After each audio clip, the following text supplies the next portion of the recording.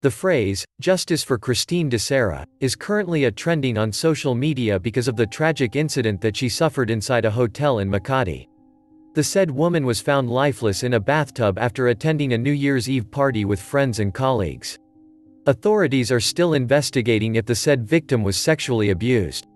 At least 10 individuals will become persons of interest if the claim is proven.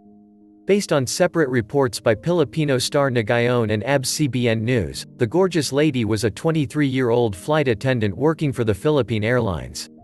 She was a resident of Block 21 Lot 1, VS Home Subdivision, Barangay San Isidro, General Santos City, South Cotabato. Meanwhile, a Facebook page linked to aspiring Filipino flight attendants compiled some of the photos of Christine. It appeared that the woman also loved joining pageants before. There was also a picture that revealed that she was a graduate of the University of the Philippines.